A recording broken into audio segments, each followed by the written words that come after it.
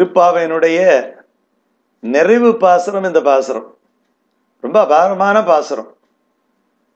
பலச்சுருதி என்று சொல்லப்படுகின்ற விஷயங்களை வைத்த பாசரம் இந்த பாசரம். அண்டாள் இந்த திருப்பாவை திருப்பாவைன்னு சொல்றீங்களே இந்த திருப்பாவையை பாடினால் திருப்பாவையை ஓதினால் நமக்கு என்ன கிடைக்கும்? ரொம்ப அற்புதமான விஷயம். பங்க கடல் கடைந்த மாதவனை ஏன்னா இவளை பெறுவதற்கு அவன் தவம் இருந்தான். மாதவம் என்று சொன்ன அர்த்தம் பெருந்தவம் இருந்து இந்த மாதவ செல்வியை பெற்றான் என்று அர்த்தம். வங்க கடல் கடைந்த வங்கம்னா கப்பல்கள் நிறைந்த கடல் அப்படின்னுட்டு அர்த்தம். இந்த தேவர்கள் எல்லாம் இந்த பார்க்கடலுக்கு போய் நிற்பாங்களாம் போய் நிறைய கப்பலில் போயிட்டு அவனை போய் பார்ப்பான். ஏன்னா நெடுக்கடல் அவன் படுத்து கிடக்குறான். அதனால் அங்கே போய் பார்ப்பாங்களாம். எனக்கு இன்னென்னது வேணும்னுட்டு கேட்பாங்களாம். அதனால் வங்க கடல் கடைந்த அந்த கடலில் தான் எல்லாமே கிடைச்சது. வங்க கடல் கடைந்த மாதவனை பார்க்கடலை கடைந்தால் அமுதம் கிடைக்கும் இல்லையா? பார்க்கடலை கடைந்தால் அமுதம் கிடைக்கும். இந்த பார் பாரிலே உள்ள இந்த தேகம் இந்த தேகத்தை பார் இதுக்குள்ள ஒரு கடல் இருக்கு. மாயக்கடல் மனக்கடலில் வாழ வந்த மாய மணாள நம்பியன்னுட்டு அந்த கடலை கடைந்தால் அந்த தேவதேவன் கிடைப்பான். இதுவும் ஒரு அமுது தானே ஆகையினால வங்க கடல் கடைந்த மாதவனை கேசவனை அவ சொன்னா பாத கமலங்கள் காணீரேன்னுட்டு ஆரம்பிச்சு வரிசையா பாதாதி கேசத்தை பாடினான் எடுக்கிறா கேசவனை பன்மயமான கேசம் உடையவனை கேசி என்கிற குதிரையை அழித்தவனை கிலேச நாசனனைன்னுட்டு பேரு. கேசவனை சொன்னால் துக்கம் ஓடிடும். துக்கம் தீர்ந்தாதான் அவனை பாட முடியும். அதனால வங்க கடல் கடைந்த மாதவனை கேசவனை திங்கள் திருமுகத்து இறைவனை அடைந்த பிறகு அவனுடைய மனதிலே தெளிவு ஏற்படும். நான் பல இடங்களிலே அடியன் சொல்வது ஒரு வழக்கம் உண்டு. கோயிலுக்கு போய் நம்முடைய கோரிக்கை நிறைவேறியதா இல்லையா என்பதை கோயிலுக்கு போன பிறகு நம்முடைய மனது தெளிவடைந்து விட்டது என்று சொன்னால் நம்முடைய கோரிக்கையை இறைவன் ஏற்றுக்கொண்டான்னு அர்த்தம். அந்த தெளிவு நம்மாலே கிடைக்கலாம் அங்கே வருகின்ற மற்றவர்களாலே கிடைக்கலாம். ஏங்க இருக்கிற பட்டாச்சாரியார் கூட ஒன்றும் கவலைப்படாதீங்க எல்லாம் சரியாக போயிடும் போங்கன்னு சொல்லும்போது நமக்கு ஒரு தெளிவு கிடைக்கலாம். அது இறைவனுடைய அந்த குரல் என்று நினைத்து கொள்ள வேண்டும். திங்கள் திருமுகத்து இப்படி ஜொலிக்கிறார்களே என்ன? ஒரு நோன்பு நோற்ற பிறகு சோர்வில்லையே என்று சொன்னால் எதை அடைய வேண்டுமோ அதை அடைந்து விட்டார்கள் என்று பொருள். அப்போ கண்ணனை அடைய வேண்டும் என்று நினைத்தார்கள் கண்ணனை அடைந்து விட்டார்கள். அதனால் இந்த முகம் ஜொலிக்குது. கிடைக்க வேண்டியது கிடைச்சிட்டா முகம் பிரகாசமாக இருக்கும் இல்லையா? அந்த பிரகாசம் தான் இவர்களுக்கு. எந்த ஐஸ்வர்யம் எல்லா ஐஸ்வர்யங்களும் சேர்ந்ததோ அந்த ஐஸ்வர்யமாகிய அந்த கண்ணனை அடைந்து விட்டார்கள். கிடைக்காத பொருள் கிடைத்து விட்டது அப்புறம் முகம் ஜொலிக்காதா என்ன? திங்கள் திருமுகத்து சேயிழையார் அங்கே நேரிழையார்னு சொன்னான். மொதல் பாட்டிலே சொன்னான். மொதல் பாட்டில் சொன்ன சொல்லை எடுத்து மறுபடி மறுபடி சொல்லக்கூடிய வழக்கம் ஆண்டாள் இடத்துல உண்டு. அடைவதற்கு முன் அது அடைந்த பிறகு நெய்யுண்ணோம் என்று சொன்னால மூட நெய்பேதுன்னு பின்னாடி சொல்றான்னா அங்கே கிடைக்காதது இங்கே கிடைத்து விட்டதுன்னுட்டு அர்த்தம். திங்கள் திருமுகத்து சேயிழையார் சென்றிறைஞ்சி. அங்கு அப்பறை கொண்ட ஆற்றை. அவர்களுக்கு வேண்டிய பறையும் கிடைத்து விட்டது. லோகாயதமான விஷயங்களும் கிடைத்து விட்டது. திங்கள் மும்மாறி போய்விட்டது. மாடுகளுக்கு தீனி எல்லாம் கிடைத்து விட்டது. பசு கூட்டம் நன்றாக வாழ்ந்து விட்டது. அந்த பசுவை நம்பி இருக்கக்கூடிய மனித கூட்டமும் வாழ்ந்து விட்டது. எல்லாருமே சந்தோஷமா இருக்கிறாங்க. ஆனா எங்களுக்கு அவனே கிடைக்க வேண்டும் இல்லையா அதுதானே பறை. அங்கு அவனையே பெற்ற அங்கு அப்பறை கொண்ட ஆற்றை அந்த வழியை என்ன செய்யறா யார் சொல்றா? வங்க கடல் கடைந்த மாதவனை கேசவனை திங்கள் திருமுகத்து சேயிழையார் செஞ்சிரஞ்சி அங்கு அப்பறை கொண்ட ஆற்றை அணி புதுவை புதுவைக்கு அணியாக விளங்குகின்ற அணி புதுவை பைங்கமல தன் தெரியல் பட்டார்பிரான் பைங்கமல பசுமையான தாமரை பூக்களாலே குளிர்ச்சியான மாலை. இவ்வளவு விஷயம் அதுல இருக்கு. பைங்கமல தன் தெரியல் பட்டர்பிரான். பட்டரனா வேதம் படித்தவர்னுட்டு அர்த்தம். பிரானனா உபகாரகர்ன்ட்டு அர்த்தம். என்ன உபகாரம் பண்ணா? நீங்க நினைச்சு பாருங்க. பெரியாழ்வார் பகவானுக்கே உபகாரம் பண்ணா. இந்த காலத்துல எல்லாம் மாப்பிள்ளைக்கு பொண்ணு கிடைக்க மாட்டேங்குது. ஆனா தான் வளர்த்த பெண்ணை பெருமானுக்கே தந்தார் இல்லையா? பலத்தியாகம் பண்ணார் இல்லையா? அது ஒண்ணு. ஆகையினாலே அந்த பெருமாளுக்கே மாமனாரானார். பிரான் பெருமாளுக்கு உபகாரம் பண்ணார்.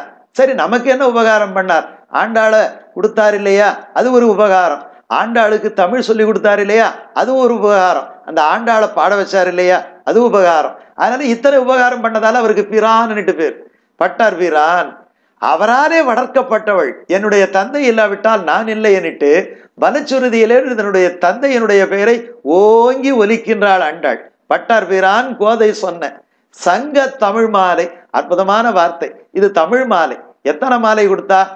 ரெண்டு மாலை. எல்லாமே ரெட்ட ரெட்டையா கொடுத்தா. பூமாலையை கொடுத்தாள் பாமாலையை கொடுத்தாள். பூமாலையை சூடி கொடுத்தாள் பாமாலையை பாடி கொடுத்தாள். அது மலர்களாலே ஆன மாலையை கொடுத்தாள். தமிழ் சொற்களினாலே ஆன மாலையை கொடுத்தாள். இல்லையா? இது வந்து அவன் கழுத்திலே போட்டாள். இந்த பாமாலையை அவனுடைய நெஞ்சில் இதயத்திலே போட்டாள். இப்படி பல மாலையை போட்டாள். அது வந்து என்றைக்கும் இருக்கக்கூடிய மாலை. அது மட்டும் கிடையாது. தான் அவனோடு சங்கமித்த மாலை. நம்மையெல்லாம் பகவானோடு சங்கமித்த வைத்த தமிழ் மாலை. இந்த சங்கம் என்றாலே கூடுதல்னுட்டு அர்த்தம். ஒரு எல்லாரையும் கூட்டி தானே அழிச்சிக்கிட்டு போகிறான் தனியாக அவள் போய் இதை போய் இறைவனோடு போயிட்டு அவள் சேரல பாருங்க. எல்லாரையும் அழிச்சிக்கிட்டு போகிறான் வாங்க அப்படி வாங்கன்னுட்டு எல்லா தோழிகளையும் அழைத்து கொண்டு போய் தான் பெற்ற இன்பம் பெருக இவ்வையகம்னு சொல்லி எல்லாருக்கும் சொன்னா இல்லையா? யாம் என்கிற பன்மையில தானே அந்த பாசுரங்கள் எல்லாமே இருக்கு. திருப்பாவையில் என்னைக்காவது நானுன்னுட்டு ஒரு வார்த்தை வருதா? திங்கள் திருமுகத்து சேயிழையார்னுட்டு எல்லாரையும் சேர்த்துக்கிறா.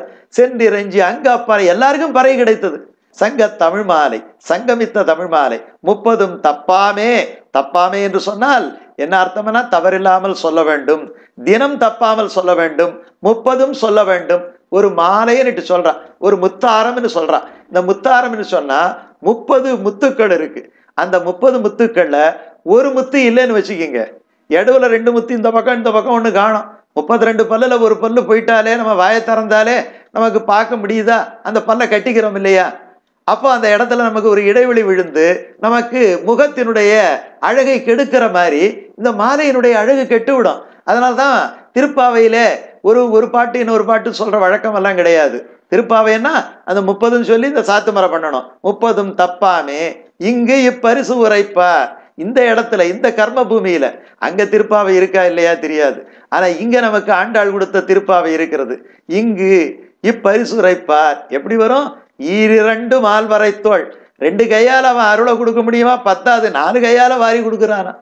இங்கு ஈரிரண்டு மால்வரை தோள். செங்கண். நம்மை பார்த்து பார்த்து ஆசிரிதர்களை பார்த்து செம்மையான கண்கள். செங்கண் திருமுகத்து அவனுடைய திருமுகம் எப்படி இருக்கு ஜொலிக்குது? காரணம் அதுல எப்படி நடமாடுது? அஷ்ட ஐஸ்வர்யங்களும் நடமாடுதான் அப்பறை கொண்ட ஆற்றை அணிபுதுவை பைங்கமல தண்டெறியல் பட்டர்பிரான் கோதை சொன்ன சங்க தமிழ் மாலை முப்பதும் தப்பாமே. இங்கு இப்பரிசுரைப்பார் ஈரிரண்டு மால்வரைத்தோள் செங்கண் திருமுகத்து செல்வ திருமால செல்வத் திருமால்.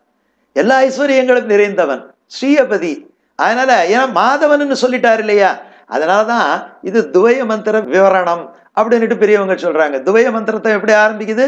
துவய மந்திரத்தை ரெண்டே ரெண்டு தொடர் தான் அது இருபத்தஞ்சு அக்ஷரங்களாலே ஆனது ரெண்டு பதங்களாலே ஆனது அதில் பூர்வபதம் உத்தரபதம் இருக்கு. இதெல்லாம் டெக்னிக்கலான விஷயம். இதை விட்டுடுங்க. என்ன சொல்கிறா ரெண்டு பேரும் நீங்கள் ஜோடியாக இருக்கணும். அப்பா அம்மா ரெண்டு பேரும் ஜோடியாக இருக்கணும். அப்பா தான் பெருமாள். பிராட்டி தான் தாய்.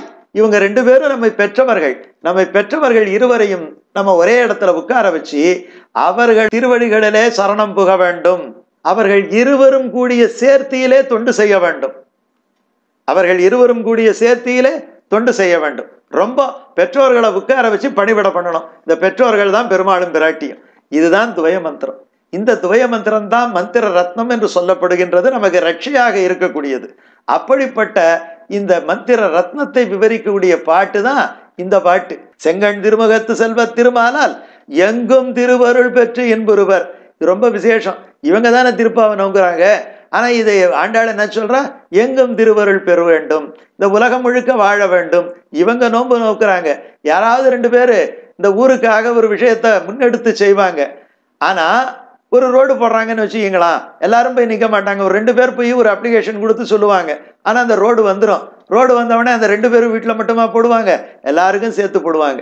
அந்த மாதிரி இவர்கள் நோன்பு நோற்றதனுடைய அருள் அங்கேயே சொல்லிட்டா. திங்கள் மும்மாறி பெய்து தீங்கின்ற நாடலாம்னு சொல்லிட்டா. அதனால ஒரு விஷயத்தை செய்யும் போது நாட்டுக்காகவும் செய்ய வேண்டும்.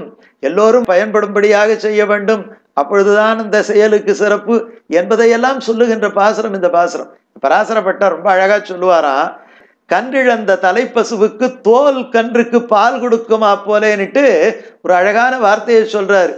என்ன பண்றது? ஒரு கோஷ்டியில போய் நின்றுட்டா அதோட சேர்ந்து நமக்கு அந்த மோ- பலன் என்னவோ அந்த பலன் கிடைத்து விடும் இல்லையா? அதை இந்த இடத்துல சொல்றாரு. சில இடங்கள்ல கண்ணு செத்து போயிடும். இருந்தாலும் அது பால் மடி கட்டிக்கிட்டு இருக்கும். உடனே சில பேர் என்ன பண்ணுவாங்கன்னா ஒரு தோல் கன்று செஞ்சு வைக்கலெல்லாம் அடைச்சி அதை கொண்டு போய் கொடுப்பாங்க.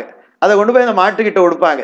கன்றுக்காக கொடுக்க வேண்டிய பாலை இந்த தோல் கன்றுக்காக அது கறக்கும். இதை காட்டி ஏமாத்தி கறந்துருவாங்க இல்லையா? அந்த மாதிரி ஏன்னா அது பாலை வச்சுக்கிட்டு என்ன பண்ணுறதுன்னு தெரியாது. அந்த மாதிரி இறைவனுடைய அருள் இந்த திருப்பாவையை சொல்பவர்கள் பக்கத்திலே போய் நின்று ஆண்டாளுடைய அதே பாவனையோடு சொல்ல முடியாவிட்டாலும் நாம் கொஞ்சம் போலியாக இருந்தாலும் கூட நாம் நிஜ கன்றுவாக இல்லாமல் தோல் கன்றாக இருந்தாலும் கூட தோல் கன்றுக்காக பால் கொடுக்கின்ற பசுவை போல இறைவனுடைய பேரருள் நமக்கும் கிடைத்துவிடும் என்பதையும் இந்த பாசுரத்திலே சொல்லுகின்றார்கள். எங்கும் திருவருள் பெறுவதற்காக ஆண்டாள் கொடுத்த இந்த சங்க தமிழ் மாலையை ஒவ்வொரு தமிழரும் ஒவ்வொரு மனிதரும் எப்படி வேணாலும் வைத்துக் கொள்ளலாம். ஏன்னா வடக்கெல்லாம் கூட அவங்க இந்தியில தெலுங்குலாம் எல்லாம் எழுதி வச்சு படிக்கும்போது தமிழ் தெரிஞ்சவங்க இதை படிக்க கூடாதா எல்லாரும் படித்து ஆண்டாளுடைய பேரூர்களை பெற வேண்டும். அதற்கான இந்த பாசரம்தான் இந்த திருப்பாவை என்கிற பிரபந்தம். இது மார்கழி மாதத்திலே பாடி அது தை மாதத்தின் முதல் நாளுக்கு முன்னாலே முடிவடைகின்றது. இந்த மார்கழி மாதத்தினுடைய பலனாக தை மாதத்திலே வழி எல்லாருக்கும் நல்வழி பிறக்கும் அனைவருக்கும் என்னுடைய இனிய பொங்கல் நல்வாழ்த்துக்களை நான் தெரிவித்துக் கொள்ளுகின்றேன். இன்னும் ஒரு தொகுப்பிலே நாம் மறுபடியும் சந்திப்போம். ஆண்டாள் திருவடிகளே சரணம்.